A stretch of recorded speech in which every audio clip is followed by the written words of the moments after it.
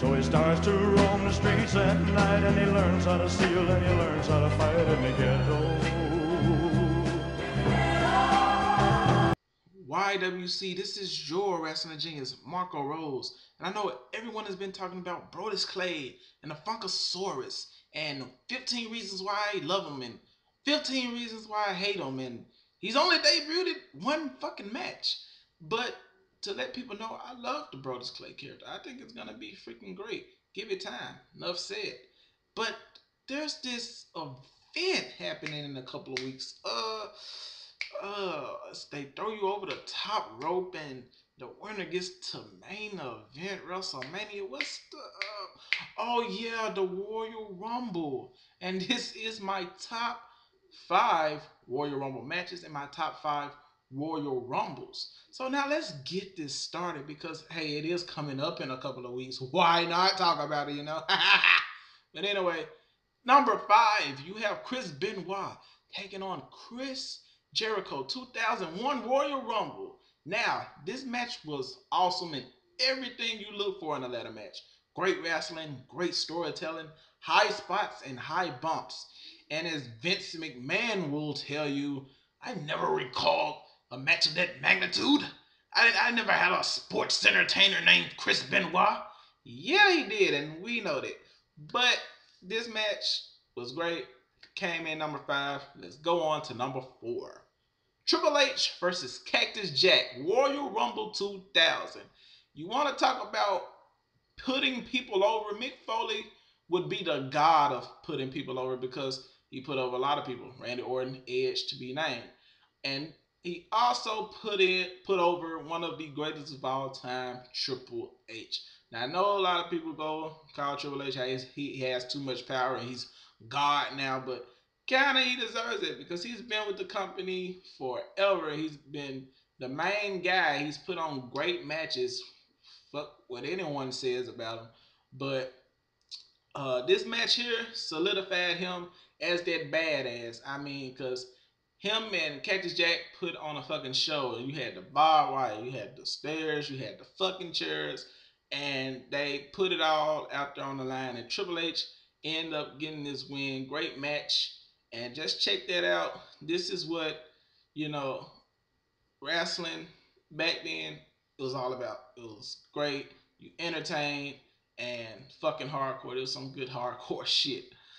Uh, number three, you have The Rock versus Mankind. Royal Rumble 99. Oh my God. This match was the absolute meaning of attitude.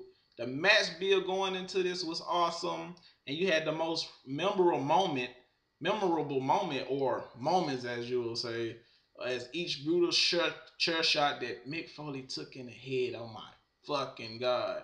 And I know people are like, "Oh, this is just an attitude era countdown. It's just an attitude era mark," and people kill me with that.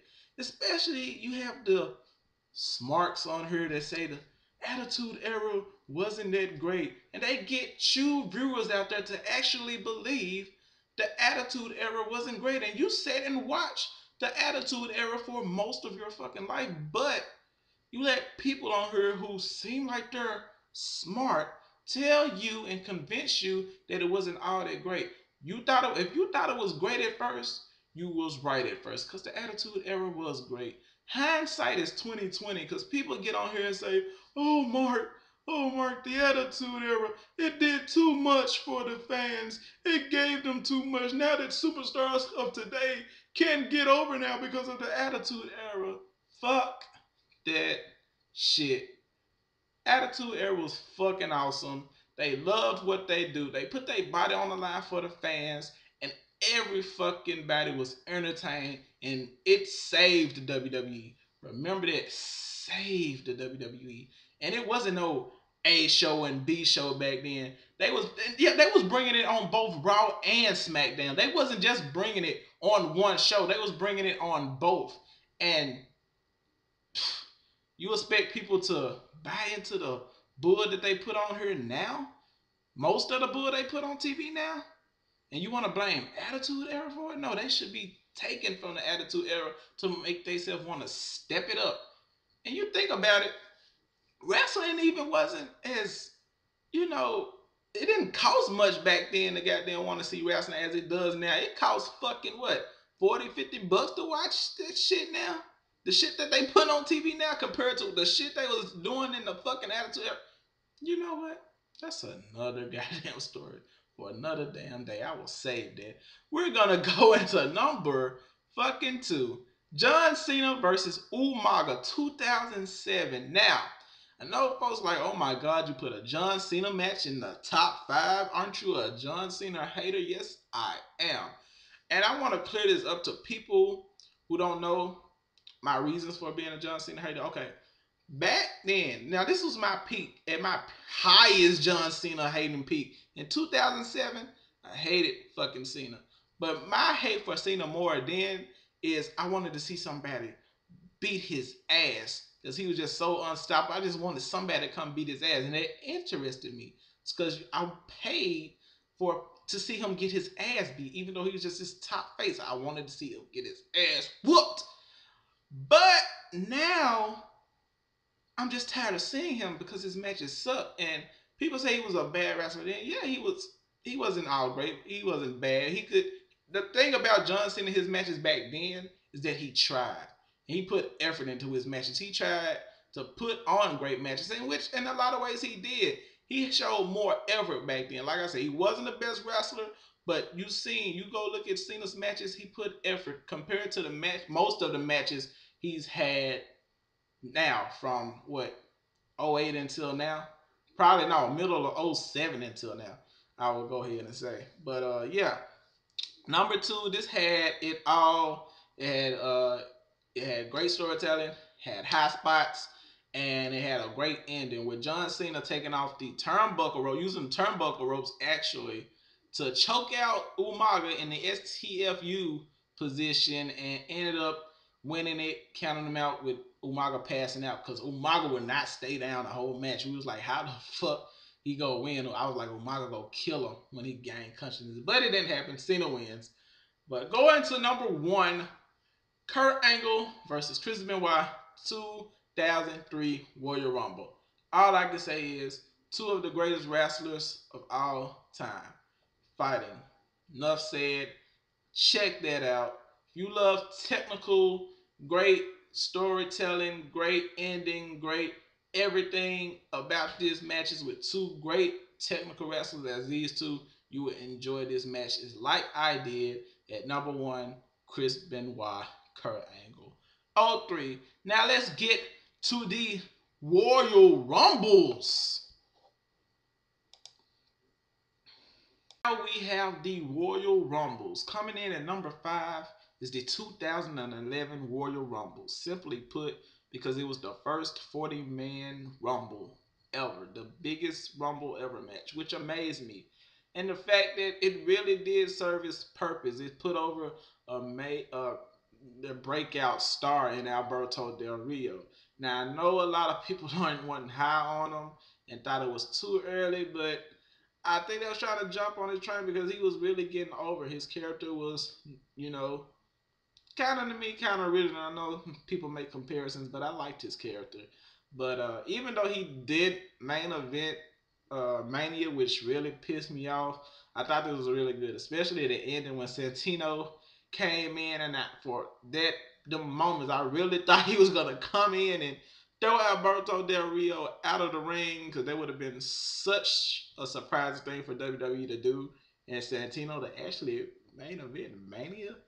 Oh God, the internet world would have been going crazy with hate over this probably more than likely. So uh, that's coming in at number five. But at number four, you have the 1997 Royal Rumble. I like this Royal Rumble because to me it signified Austin as a legit star. I know people be saying like King of the Ring is what did or whatever when he did Austin 316.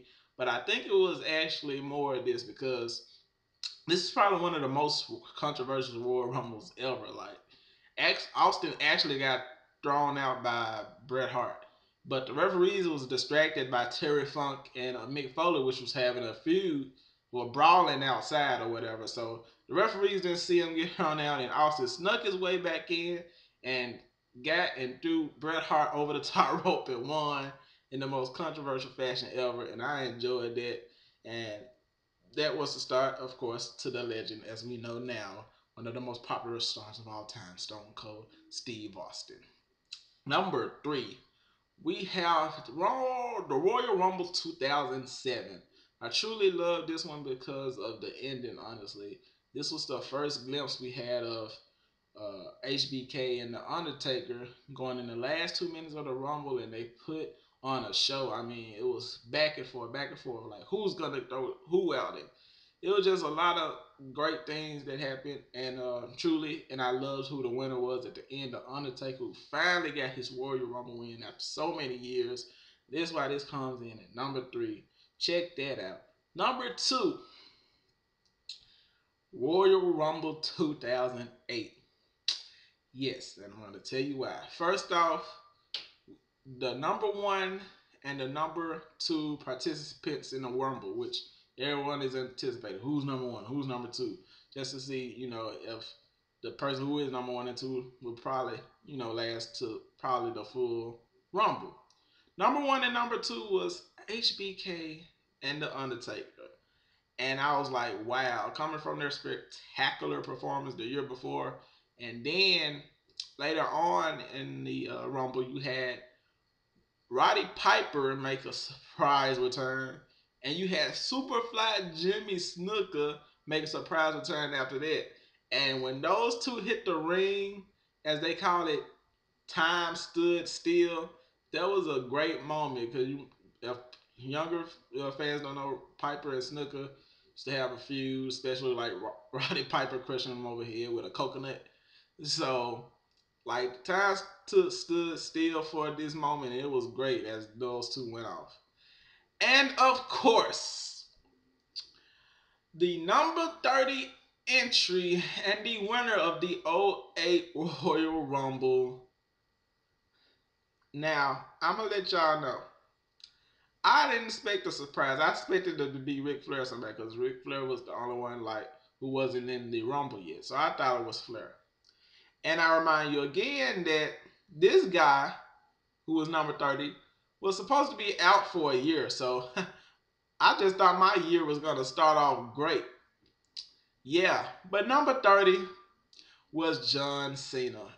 And oh my God, I jumped up with so much fucking emotion. I was like, no, no, no, are you fucking serious? No, I, I was.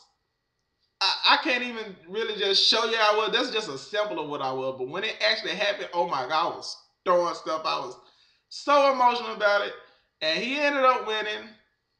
Fine, but I like this because it brought so much emotion out of me. I think that was the like only rumble that brought so much emotion from me from you know top to bottom. But number one, of course, and I think this should be most people's uh, number one Royal Rumble because, my God, the legends that was all in this match and uh, just everything fucking about it. I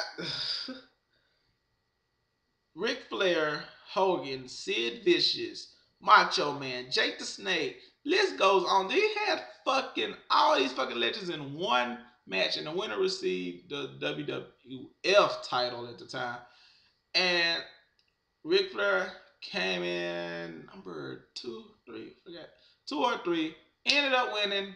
And this here, it, had everything. It had the stars you wanted, it had the controversy you wanted, and it just did everything fucking perfectly. And this reason is why it's my number one, Royal Rumble 92. And this has been my video, and this has been my time. And of course, check out my two guys down there. Subscribe to them. The Queen of Wrestling, CCDMF. I'm talking about she's a true, a true female shooter you can be proud of and won't send you random ass questions on your channel comments. And check out the funniest guy in the YWC, Master Bad Guy. If you like to laugh and you like to just fucking laugh your fucking ass off, this is who you need to check out. But this has been my time. This is your wrestling genius, Marco Rose. and tell me what you think. Comment, like, dislike. What's your favorite? What's not your favorite? And everything else. But anyway, peace out. Represent the gurus of greatness, and I'll see you next time.